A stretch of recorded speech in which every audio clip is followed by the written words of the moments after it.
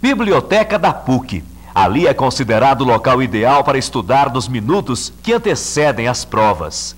São estudantes que trabalham durante o dia e procuram tirar as dúvidas antes de entrar para a sala de aula. Final de semestre é o momento de recuperar as baixas notas tiradas no início do ano. Agora nós estamos na semana das provas e agora é sentar e estudar e recuperar o tempo perdido. Principalmente para quem trabalha e estuda à noite, fica muito difícil conciliar os horários de estudo com o trabalho, né? Então a gente aproveita para chegar um pouco mais cedo e dar uma estudada aqui na, na biblioteca. Muitos não escondem o nervosismo e chegam a confessar que o sofrimento começou antes. Você passou o final de semana preocupada? Bastante preocupada, estudando bastante, né? Tentando recuperar o tempinho, ocupar bastante tempo que a gente tem. E a gente fica bastante estressada mesmo. Final de semana foi só estudar. Não adianta passar a mão no cabelo nem ficar com cara de preocupação por não dominar o assunto, ou até mesmo tentar uma cola ou, quem sabe, copiar do colega ao lado.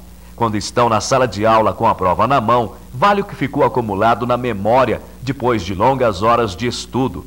Alguns alunos afirmam que é tanta correria que fica difícil evitar o estresse, principalmente quando lembram que tem cinco, seis e até oito provas pela frente numa única semana. Eu estudei um pouquinho de cada um no final de semana, mas não dá pra gente guardar tudo, né? Fica super difícil. A gente fica estressado demais porque tem o trabalho junto, né? É difícil. A gente não tem de um dia para o outro um tempo para estudar, né? Ainda mais a gente que, não, que tem que estuda à noite, trabalha o dia inteiro. Então dificulta, a gente fica mais estressado, mais, mais dificuldade, né? Nesta semana, para se sair bem nas provas, vale tudo.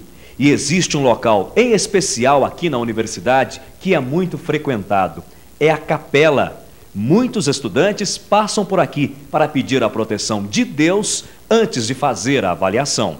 Todos os dias mesmo, antes de começar a aula ou antes de qualquer coisa que eu faça, vou fazer aqui na faculdade, o primeiro lugar que eu venho é aqui na capela. É, eu peço a todos que rezem muito antes mesmo de fazer qualquer coisa. Esse é o nosso objetivo. Com a proteção de Deus, você acha que dá para ir melhor nas provas? Dá para ir em todos os lugares melhor, porque para Deus nada é impossível.